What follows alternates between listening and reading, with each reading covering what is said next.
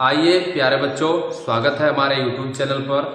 हम यहाँ पर जो है क्लास सिक्स के जो है, जितने भी मैथ में जितने भी सवाल है, उनको सॉल्व करेंगे धीरे धीरे कर कर और अब जो है, हमने पिछले में जो है वन अभ्यास वन के जो है, लगाया पूरा सवाल। और फिर अब अभ्यास जो है हमारा, जो टू बी चलेगा लेसन दूसरा। अब यहाँ पे तो आइए प्यारे बच्चों, अब हम बढ़ते हैं अपने आगे, अगले सवाल की तरफ़ कि टू बी में कौन कौन से सवाल है, उनको अच्छे तरीके से देखेंगे, उनको अच्छे तरीके से जो है सॉल्व करने की कोशिश करेंगे, लगाएँगे। ठीक है, तब तक के लिए बने रहिए हमारे यूट्यूब चैनल पर और लास्ट तक देखिएगा। ठीक है? तो आइए प्यारे बच्चों, अब हमारा जो है अभ्यास टू बी का यहाँ पर पहला क्वेश्चन हमारा लिख गया है। पहला क्वेश्चन क्या कह रहा है? कि संख्या रेखा पर अंकित योग तथ्यों की लिखिए ठीक है? तो इन शेखों से जहाँ ये जो संख्या है, ये कहाँ से कहाँ गई है और कहाँ से कहाँ जाने से क्या बनी है, इसको हम यहाँ पर इसका जो है योग लिखेंगे कि संख्या कहाँ से कहाँ हमें दर्शा रहा है। ठीक है? तो यहाँ पर जो है हम इसको लिखेंगे यहाँ पर कि कितना हमारी संख्या कहाँ से कहाँ इसमें दर्शा रही है। ठीक है? तो ध्यान रखिए प्यारे बच्चों कि इसमें जो है यहाँ पर अब हम बराबर लिखेंगे और फिर यहाँ पर पहले देखते हैं। तो ठीक है तो यहाँ पर जो ज़ीरो से जो संख्या जाती है, यहाँ पर ज़ीरो नहीं गिना जाता है, ठीक है? कभी शून्य को कभी गिना नहीं जाता है। शून्य के आगे हम गिनेंगे। तो चलिए देखते हैं। तो एक, दो, तीन, चार। कितनी गई है हमारी? चार गई है। ठीक है? फिर उसके बाद में प्लस अब फिर उसके बाद में, अब यहाँ पर तो यहाँ पर ध्यान रखिए प्यारे बच्चों, यहाँ से जो है हमें योग बनाना है इसका तो यहाँ पर हमें यह नहीं गिनना है कि पाँच, छह, सात, आठ, नौ। यहाँ पर हमें इस तरीके से गिनना नहीं है। अब यहाँ पर भी पहले हमारा एक, यहाँ पर जब भी जो जो है रेखा मारी गई, वो चार पर गई, और फिर उसके बाद में, अब इसके आगे देखेंगे कितना हमारा? एक, दो तीन, चार और पाँच। तो यहाँ पर हम लिख सकते हैं, प्यारे बच्चों, पाँच। ठीक है? अब फिर उसके बाद में बराबर। तो यहाँ से कितनी दूरी पे जो है हमारा जाके जो है रेखा गई है? यहाँ से उठ के हमारी रेखा कितनी दूरी पर गई है? तो अब यहाँ पर हमने पहले बताया था कि यहाँ से ज़ीरो नहीं गिनेंगे। ठीक है? तो यहाँ से क्या गिनेंगे? एक, दो, तीन, चार, पाँच, छ, सात, आठ, नौ। ठीक है? ये रेखा हमारी गई है। तो यहाँ पर हमारा कितना हो गया? नौ हो गया। ठीक है? यही यही आपका जो है क्या हो जाएगा? आंसर हो जाएगा। ठीक है? तो चलिए प्यारे बच्चों, अब जो है हम क्लास जो मतलब इसमें जो है दूसरे में जो चलते हैं, इसमें देखते हैं कितना क्या चला है। तो यहाँ पर ध्यान रखिए, देखिए ज़ीरो से हमने पहले बता दें कि ज़ीरो से संख्या नहीं गिना जाएगा, यहाँ से गिना जाएगा एक, दो, तीन, चार और पाँच। इसका भी हमें जो है इन रेखा जो अंकित है, इनका हमें योग बनाना। ठीक है तो एक, दो, तीन, चार और पाँच। कितना हमारा? पाँच है। ठीक है, कितना हमारा? पाँच है। फिर उसके बाद में प्लस लगा लेंगे।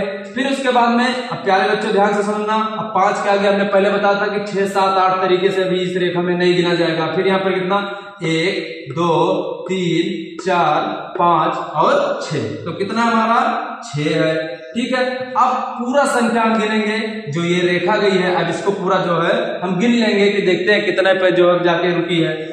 तो कितने पर रुकी है? एक, दो, तीन, चार, पाँच, छ, सात, आठ, नौ, दस और ग्यारह पर। कितने पर जाके रुकी है ग्यारह पर। तो यही प्यारे बच्चों, हमारा क्या हो जाएगा? आंसर हो जाएगा। तो समझ में आ गया? तो चलिए, अब जो है हम बढ़ते हैं फिर अगले सवाल की तरफ़। ठीक है? दूसरे सवाल में तो जो है इसका स्क्रीन ले सकते हो। हमारा जो है, अब प्यारे बच्चों, हम यहाँ पर जो है, अभ्यास टू बी का दूसरा जो है सवाल देखेंगे। ठीक है? तो यहाँ पर जो है, यहाँ पर दूसरा सवाल जो देखेंगे। वहाँ पर क्या था हमारा कि जो रेखा जो वहाँ पर बनी थी, ठीक है? उसको, उसका योग लिखना था, ठीक है? अब यहाँ पर क्या कह रहा है कि निम्नांकित तथ्यों की संख्या रेखा पर दिखाइए। अब यहाँ पर संख्या रेखा इसका बनाकर हमें योग दे के रखा है, इसका हमें संख्या रेखा, इसका हमें यहाँ पर बनाना है। तो आइए प्यारे बच्चों धीरे धीरे सब कुछ सीखेंगे, लेकिन वीडियो को लास्ट तक देखिएगा समझने के लिए, ठीक है? तो चलिए फिर यहाँ पर अब शुरुआत करते हैं। जैसे मान के चलो ये हमारा पहला तो पहले हम इसको रेखा बना लेते हैं। कितना बना लेते हैं? रेखा बना लेते हैं। अब इसमें जो है, यहाँ पर हमारा जो है ज़ीरो हो जाएगा। क्या हो जाएगा? ज़ीरो हो जाएगा। यहाँ पर हमारा ज़ीरो हो जाएगा। एक, दो और नौ है। तो हमें इस जाति बात है कि नौ तक जाना ही पड़ेगा। तीन, चार, पाँच, छ सात, आठ, नौ, दस और फिर ग्यारह। ठीक है? अब यहाँ पर इसको जो दर्शाएँगे तो कैसे दर्शाएँगे? ठीक है? तो यहाँ पर हमारा जो है, अब मान के चलो कि हमारा कह रहा है कि पाँच पाँच और चार, पाँच और चार। तो ज़ीरो को नहीं गिनेंगे, ये हमने पहले बताया था तो एक, दो, तीन, चार पाँच। तो यहाँ से लेकर जाएँगे और पाँच तक लेकर जाएँगे। ठीक है? तो यहाँ पर हो गया हमारा। फिर उसके बाद में क्या कह रहा है कि चार। तो हमने आगे संख्या हमने इसलिए नहीं बताया था कि जो है इसको पाँच, छह, सात, आठ, नौ करके गिनना इस तरीके से नहीं गिनना इसके आगे की संख्या में चार गिननी है तो एक, दो, तीन और फिर चार। तो यहाँ से फिर लेकर जाएँगे हम। और कहाँ तक जाएगा हमारा? नौ तक जाएगा। कहाँ तक जाएगा? नौ तक जाएगा। ठीक है? तो कितने तक जाएगा हमारा? नौ तक जाएगा। तो यहाँ से चला, ठीक है? और फिर यहाँ पर आया और यहाँ से जब चला तो फिर यहाँ से यहाँ तक हो गया। ठीक है? अब फिर, अब इसका जो बराबर आया है, हमारा जो योग है, वो हमारा योग यहाँ पर यहाँ पर बनाएँगे और यहाँ से बनाने के बाद में फिर हम इसको सीधा और यहाँ पर मिला देंगे। ठीक है? तो ये हमारा पूरा अच्छी तरीके से आ गया ठीक है? तो प्यारे बच्चों, ये समझ में आ गया। तो ये हमारा जो देखे पाँच हमने बना, एक, दो, तीन, चार, पाँच, यहाँ पर पूरा हो गया, चार, एक, दो, तीन और चार। और कितना होता है? नौ होता है। तो यहाँ पर उसका हमने यहाँ पर रेखा खींचा और पूरा हमारा योग कितना आ गया? नौ आ गया। ठीक है? तो अब हम चलते हैं दूसरे क्वेश्चन पर। दूसरा क्वेश्चन हमारा है कि ज़ीरो प्लस पाँच, ज़ीरो प्लस पाँच, ठीक है? तो यहाँ पर ज़ीरो प्लस और आप ज़ीरो प्लस यहाँ पर बराबर पाँच ही हो जाएगा, कोई दिक्कत नहीं है क्योंकि पाँच प्लस, ठीक है? तो अब यहाँ पर जो है, हम बनाएँगे इसको। अब यहाँ पर भी एक रेखा खींचेंगे क्योंकि हमको जो है क्या करना है, संख्या रेखा पर दिखाना भी है, ठीक है? तो यहाँ पर रेखा खींचे और यहाँ पर रेखा खींचने के बाद में, यहाँ पर एक रेखा खींच ली और यहाँ पर रेखा खींचने के बाद में हमारा देखिए कितना आता है। देखिए, हम पहले जो है क्या करेंगे, पहले सबसे तो ज़ीरो लिखेंगे, फिर एक दो, तीन, चार, पाँच, छ और फिर हमारा क्या हो जाएगा? सात, आठ, नौ और फिर दस। ठीक है? अब इस तरीके से हमने संख्या रेखा खींच ली, बना लिया। ठीक है? और इसको आप पटरी के माध्यम से भी बना लेना, अच्छी तरीके से। तो यहाँ पर अब देखिए हमने बताया था कि ज़ीरो से नहीं तो पाँच संख्या आएगी तो पाँच इसके आगे गिनेंगे एक, दो, तीन, चार और पाँच। तो यहाँ से उठा और यहाँ तक गया। ठीक है तो ये हमारा क्या हो गया? पूरा हमारा पाँच हो गया। यहाँ से जाने के बाद में फिर ये और फिर ये हो गया। अब यहाँ पर जो तो हमारा जो योग बराबर कितना आया था? पाँच ही आया था। तो यहाँ से इसको फिर उठाएँगे और यहाँ पर लेकर जाएँगे और यहाँ से फिर सीधा यहाँ कर देंगे। ठीक है? तो यहाँ पर सीधा कर देंगे तो हमारा यहाँ पर इसका योग हो जाएगा। ठीक है? तो प्यारे बच्चों, आपको अच्छे तरीके से समझ में आया होगा। तो ये भी हमारा क्या है? सही है। कोई दिक्कत नहीं ना प्यारे बच्चों, कोई दिक्कत नहीं है। ठीक है?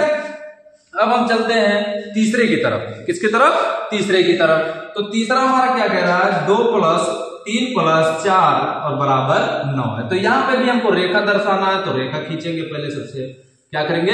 रेखा खींचेंगे। अब रेखा खींचने के बाद में, अब हम यहाँ पे लिख लेते हैं, सबसे पहले हमारा क्या हो जाएगा? ज़ीरो, फिर एक, हमारा क्या होगा? एक, दो, तीन, चार, पाँच, और छ, सात, आठ, नौ, और फिर दस, फिर ग्यारह, फिर बारह, और फिर हमारा क्या हो जाएगा? तेरह हो जाएगा, ठीक है? अब हमने यहाँ पर इसको इतना बना लिया। कोई दिक्कत नहीं ना, प्यारे बच्चों, कोई दिक्कत नहीं है। फिर उसके बाद में, अब यहाँ पर जो है दो प्लस तीन प्लस और चार तो दो, यहाँ पर ज़ीरो कोई हमारी संख्या नहीं होगी। तो ज़ीरो से ज़ीरो से हम कोई नहीं गिरेंगे तो हमारा एक और दो। तो ज़ीरो से उठाएँगे और ज़ीरो से उठाने के बाद में यहाँ पर दो तक जाएँगे। फिर उसके बाद में ये। अब फिर उसके बाद हमारा क्या कर रहा है? तीन। तो तीन, अब फिर उसके बाद में आगे की संख्या हम इस तरीके से नहीं गिनेंगे तीन, चार, पाँच, छह। नहीं, यहाँ पर गिनने का मतलब एक ही से स्टार्ट करना। तो एक, दो, तीन। तो यहाँ से उठाएँगे और फिर उसके बाद में यहाँ पर जाकर हमारा तीन संख्या हमारा पाँच पर पूर्ण हो जाता है। तो यहाँ से गया और फिर यहाँ पर आया। ठीक है, और यहाँ से गए, और फिर यहाँ पर भी आए।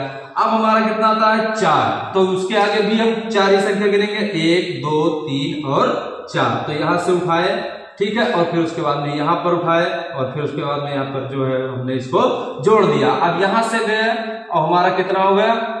नौ। कितने पर गए? नौ। तो यहाँ पर हमारा गया तो दो संख्या पूर्ण हो गई। यहाँ से गए तो तीन संख्या पूर्ण हो गई, और यहाँ पर गए तो हमारा चार। अब इसका पूरा योग लिख लेते हैं। क्या करेंगे इसका? पूरा योग बनाएँगे। ठीक है? तो यहाँ पर पूरा योग बनाए और योग बनाने के बाद में जो हमारा यहाँ पर आपके सीधा डायरेक्ट यहाँ पर मिलेगा तो यहाँ पर जो इसका योग है, वो योग बराबर हमारा कितना हो गया? एक, दो, तीन, चार, पाँच छ सात, आठ, नौ। ठीक है? तो ये हमारा पूरे तरीके से हमारा आंसर हो गया। हमने अपने इस वीडियो में पूरा दर्शा दिया है। अब चलते हैं फिर अगले क्वेश्चन की तरफ़। क्वेश्चन हमारा दो हो गया। अब अगले क्वेश्चन की तरफ़ चलेंगे। क्वेश्चन नंबर तीन। और आप तब तक स्क्रीन शॉट आप ले सकते हो। तो चलिए प्यारे बच्चों, अब जो हमारा दो क्वेश्चन हो गया। अब क्वेश्चन हमारा नंबर तीसरा आ गया है। निम्नांकित कथनों में रिक्त स्थानों की पूर्ति कीजिए। तो इधर हमें जो है रिक्त स्थानों की पूर्ति कीजिए। तो सबसे पहले हम जो सवाल को समझेंगे। देखिए, इधर 345 प्लस सात नवासी है। और इधर बॉक्स बना है और फिर उसके बाद में 345 है। तो 345 हमारा इधर हो गया तो इस खाली स्थान पर हमारा कौन सा नहीं है? सात नवासी नहीं है। तो यहाँ पर इस बॉक्स में क्या भर देंगे? सात नवासी भर देंगे। ठीक है? क्या भर देंगे? सात नवासी भर देंगे। फिर उसके बाद में, अब यहाँ पर जो ये हमारा जो बॉक्स है, इस बॉक्स में देखिए इधर क्या लिखा है? जो है दो हज़ार आठ सौ नवासी प्लस ज़ीरो बराबर बॉक्स। इधर हमारा कोई भी संख्या नहीं है। इधर भी हमारा कोई भी संख्या नहीं है। तो आप जानते हो, अगर किसी संख्या में अगर ज़ीरो जोड़ दिया जाए, आप मान के चलो कि दस रुपए लेके रखे हो। अगर आपको कहा जाए कि दस रुपए में ज़ीरो जोड़ दो तो क्या हो जाएगा? हमारा दस का दस हो जाएगा। तो यहाँ पर जो है हमारा क्या हो जाएगा? तो यहाँ पर जो ज़ीरो जब इसमें जोड़ जुटेगा तो यहाँ पर हमारा क्या हो जाएगा? यही संख्या हमारी पुनः यहाँ पर आ जाएगी।